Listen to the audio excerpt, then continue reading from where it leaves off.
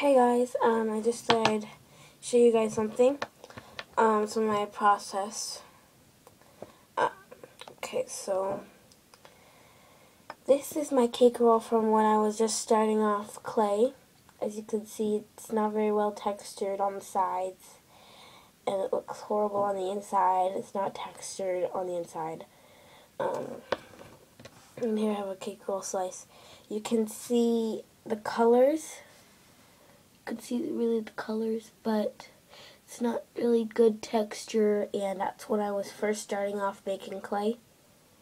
And I think I've gone a long, long way with making clay. Okay, so here's my first one. This one's um, bigger than the one I have now. This one is my unbaked one, but I'm still working on it. See, this is textured really well. I'm still working on this side of my cake roll, but I can tell this is really textured. um,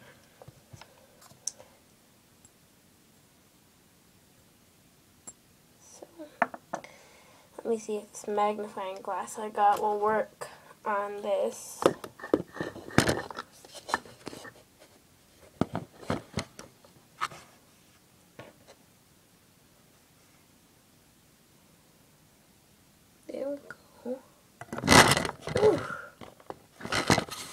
Can you guys see that?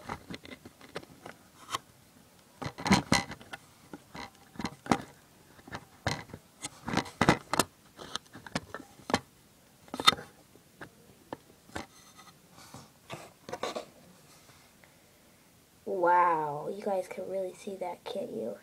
It's really good texture. Um, can tell on this, it's very good texture also, instead of this. Look at that. Um, so I think I've got a long way with making clay. Um, so, yeah. Um, thank you guys for watching, and yeah. And this is something that my dad got me at Axman um, Axman is a store where I also got my little glass jars. And I just love these. And this is really helpful um, while making clay because you don't have to hold it.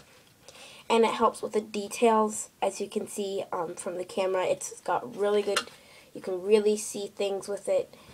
And it really just helps you make things a lot more, a lot better with miniatures. So I recommend getting this so, yep.